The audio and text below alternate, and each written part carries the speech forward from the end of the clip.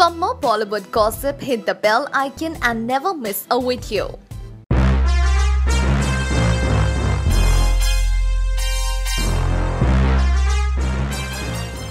Goa is a party hub not just for Indians but for people across the globe as well. No wonder this December Wiz Khalifa has planned to host a big bash in Goa for New Year's.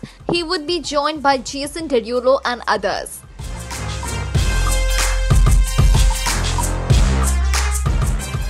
And now we hear that this grand event would be hosted by three very special people from B Town Salman Khan, Jacqueline Fernandez, and Priyanka Chopra. Priyanka and Jacqueline are well acquainted with Wiz Khalifa, and Salman Khan is one hell of a sought after actor.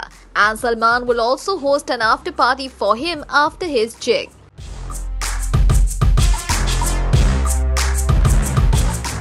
Well, hearing this, we do believe that the party season has really begun, and it will be truly exciting to see how the three stars of B Town host Wiz Khalifa. Henna